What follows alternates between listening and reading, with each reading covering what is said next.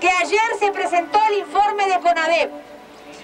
Madres de Plaza de Mayo no asistió porque no avaló, ni avala, ni avalará un informe que no contiene lo que dice el gobierno que tiene. El gobierno...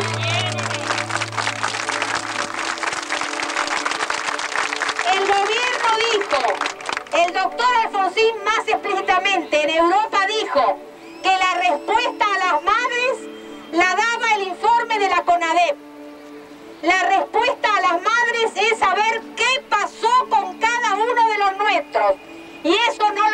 el informe.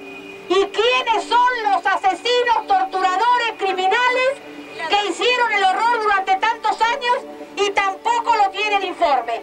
Por lo tanto, las madres creo que una vez más hemos dado la razón, nos hemos dado nosotras mismas un montón de dificultades que hemos tenido para llevar adelante esta posición, de no participar, ni aportar ni apoyar esta comisión, que lo único que hizo fue juntar y recaudar ya lo que tenían otras instituciones.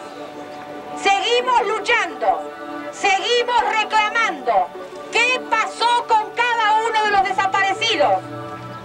Queremos juicio y castigo a los culpables, pero un juicio y castigo en serio.